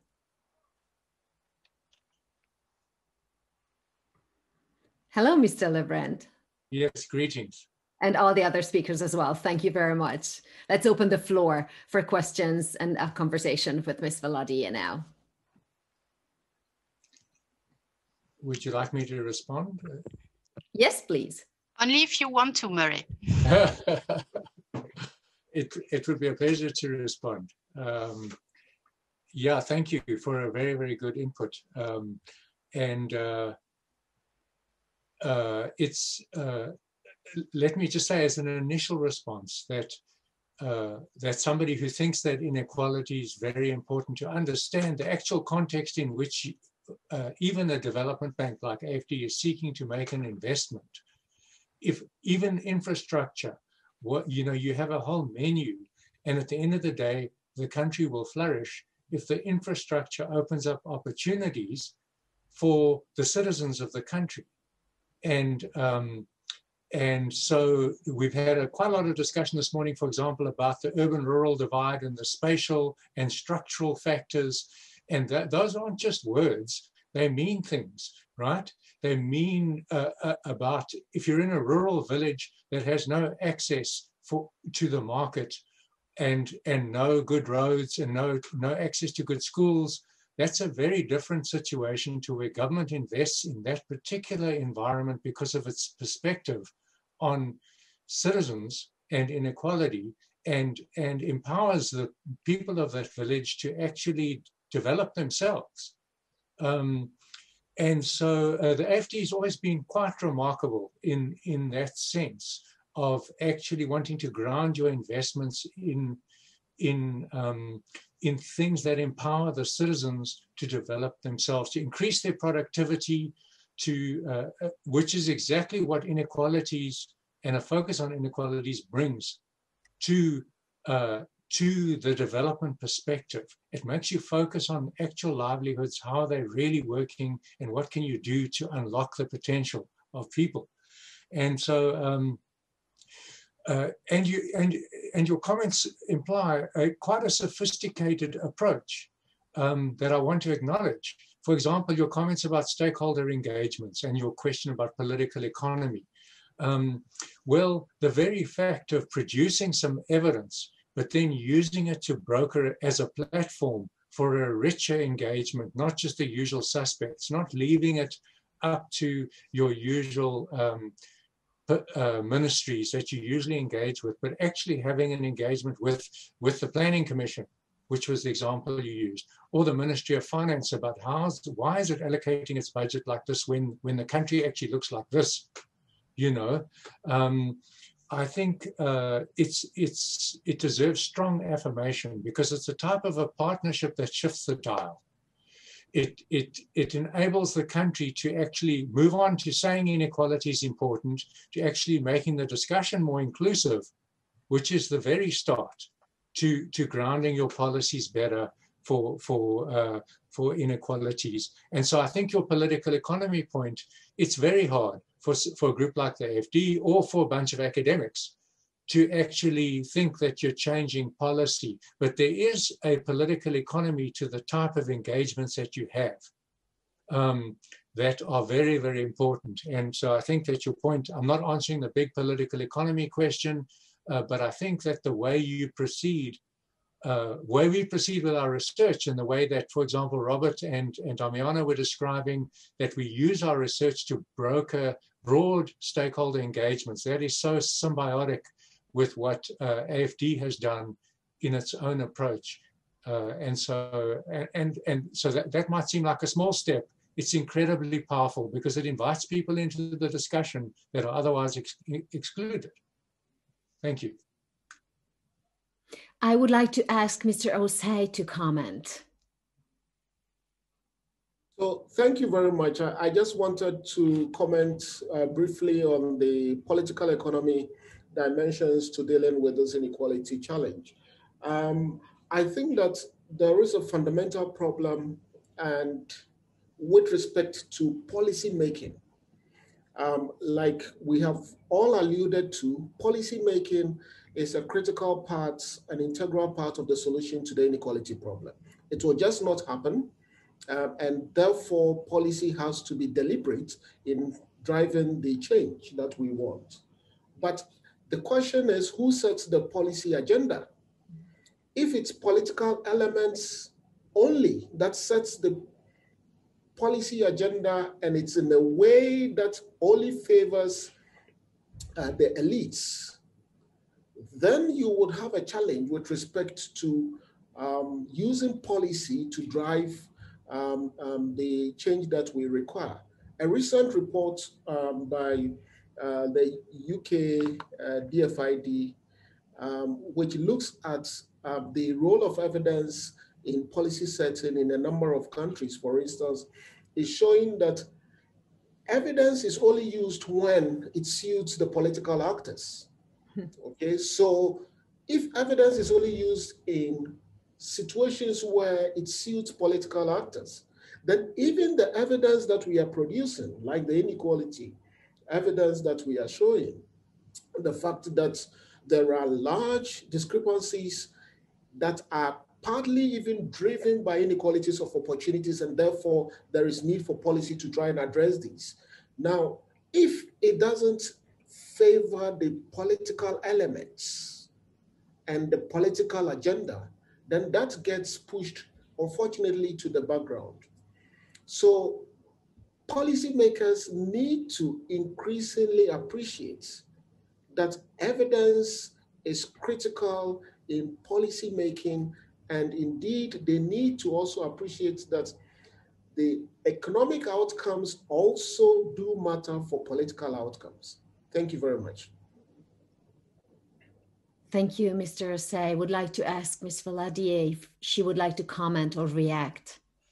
No, thank you very much for, for these answers. And um, um, I think that's what we are trying to do. Um, and it's a, a, small step, as uh, Murray uh, said, but uh, we, we do think it really matters uh, to, to have this broader discussion and, and to gather together people around the, the research results and, and, and to keep the conversation going on what they mean and, and what are the policy implications that uh, can be driven from them.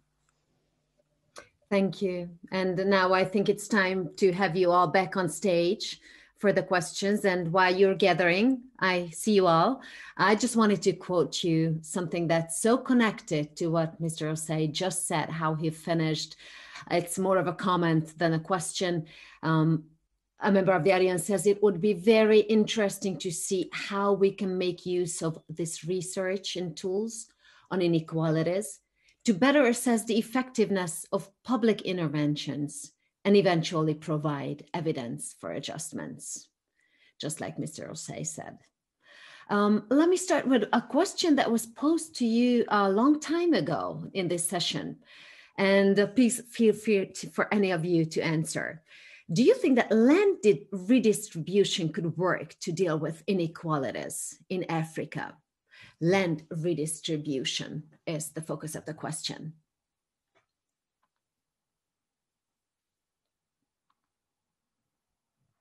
Murray?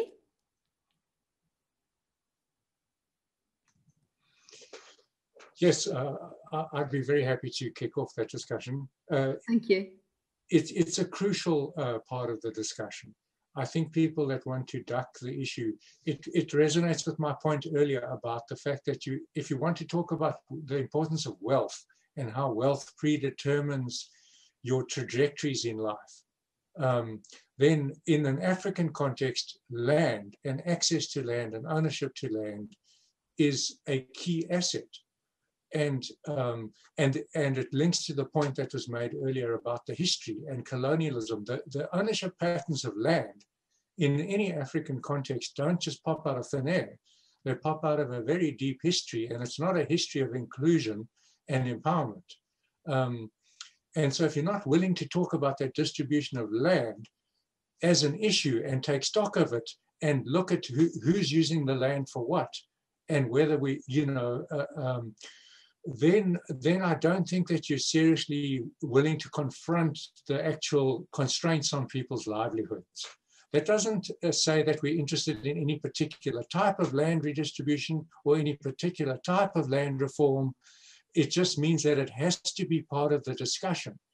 Um, it's, uh, but it's quite an important discussion uh, in which evidence can have a huge impact on what comes out on the other side because the push for land redistribution comes sometimes comes as a cathartic response to our history now that's not very helpful necessarily to uh, to rural uh, dwellers or urban farmers or etc uh, informal settlement people um, they need well-designed policies in which land is a part of that discussion uh, so I think that it's unavoidable. I, th I, I, think you really do need to take stock of, of, the, of the use of land um, mm. as part of the discussion. Uh, but that doesn't necessarily lead, it requires local specificity, mm. uh, serious analysis at the local level. Thanks. Mm. Thank you very much. Let me ask the other participants if they'd like to comment on this. If if not, oh, I see um, Mr. Manda just started to answer, muted though. Maybe not. Then let me move on because it's a very important other question that we have. One of the main factors of inequality you mostly mentioned was locality. And the question is if you think that urbanization can help reduce poverty and inequality. Um, the importance of urbanization is the focus of the question.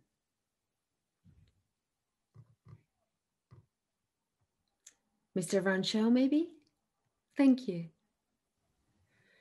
Sure, thanks. So, I mean, based on our data, I think that it definitely is a case that people who migrate to cities or urban centers do better economically in terms of poverty and a number of other developmental uh, welfare indicators.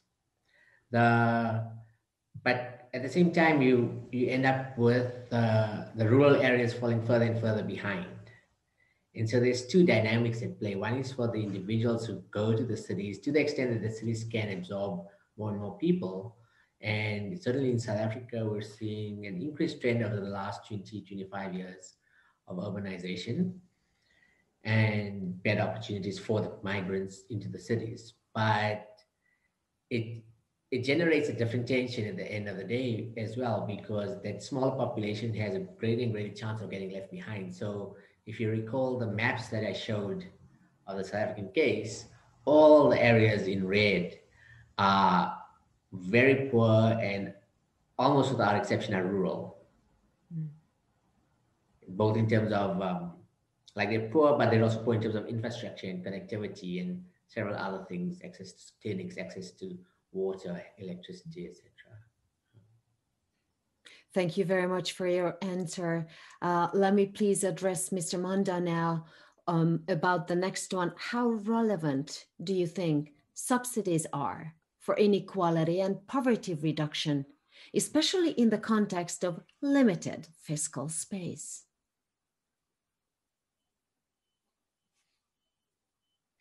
Okay. Uh, maybe I'll start. I, I actually wanted to contribute on the issue of land, but I was muted. So oh, okay. Not, Thank you. Yes. So let Go me ahead. start from there. Yeah.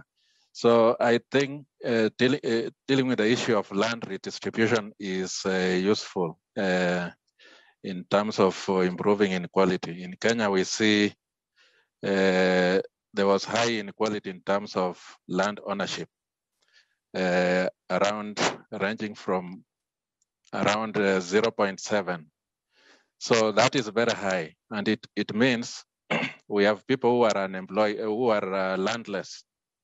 And if you have landless in a, a country like ours, uh, where issues of um, uh, contract farming are not so clear, then it means if if you are landless and you are not employed, then